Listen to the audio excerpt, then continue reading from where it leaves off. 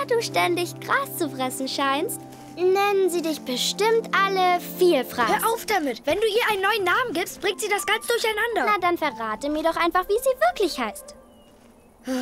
Schecke. Dankeschön. Hallo, Schecke. Oh. Und was haben wir hier für ein goldiges Schneeauge? Ich hab doch gesagt, du... Woher weißt du denn, dass ihr Name Schneeauge ist? Na, siehst du? Ich hab's von allein gewusst. Warte, ich versuch's nochmal.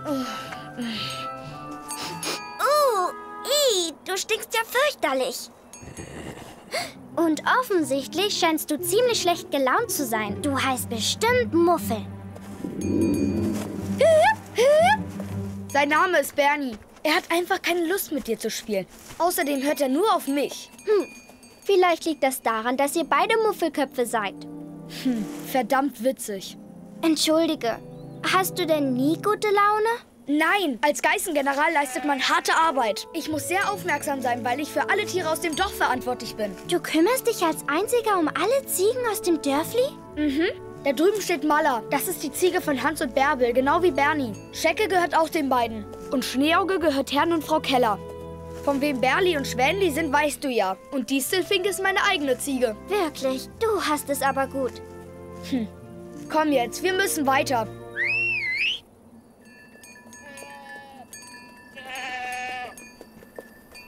Die Weide ist da oben, am Ende des Berges.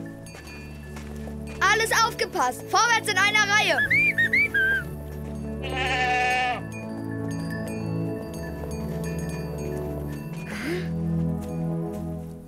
Berli und Schweli, es geht weiter in Reihe. Kommt schon, bewegt euch, ihr Faulpelze! Sieht so aus, als hätten sie für heute genug Befehle erhalten. Von wegen. Die zwei machen doch andauernd nur, was sie wollen. Die können nur deinem Großvater gehören. Kommt jetzt! Hey, nein, nicht doch, Peter! Du darfst sie nicht schlagen, bitte! Natürlich schlage ich sie. Meinst du, ich lasse mir von dir sagen, wie ich meine Ziegen behandeln soll? Bitte, nicht mit dem Stock! Wenn du aufhörst, sie zu schlagen, dann gebe ich dir auch die Hälfte von meinem Essen. Die Hälfte von deinem Brot und deinem Käse? Mhm.